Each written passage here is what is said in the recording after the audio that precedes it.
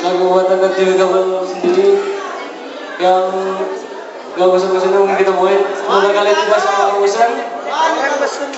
Uh, sekali lagi ucapin terima kasih ya buat Kaltim Bos sama happy birthday buat ekspresi buat yang kesejutannya. Semoga makin lebih bisa menampilkan yang